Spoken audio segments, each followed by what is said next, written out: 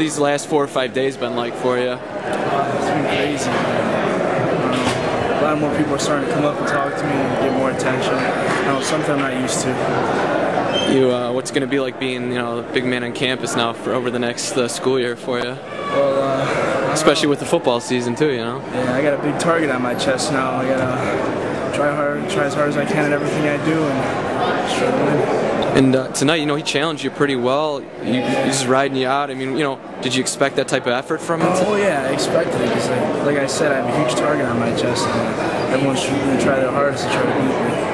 How far you do you guys feel like you can go as you know, far as uh, this team run is concerned? Uh, you know, maybe you never know. You never know what can happen. What, uh, did you guys expect to challenge RB? You know, the way you did tonight, because you know you won a, quite a few matches overall. Yeah, um, it, went- better than we expected. You know, we thought they were, uh, we were a good team, but we came out and wrestled well. and it helped us out. You know, how much confidence does last weekend give you? You know, going into next season. Uh, it gives me a lot of confidence in the mental aspect of it. I mean, I just have to, like I said, work hard and just keep trying as hard as I can. Do you feel st- you uh, still feel like you're learning, or Yeah, definitely. I'm still learning. I have a lot more to learn. I don't think I'm at the best I can be yet.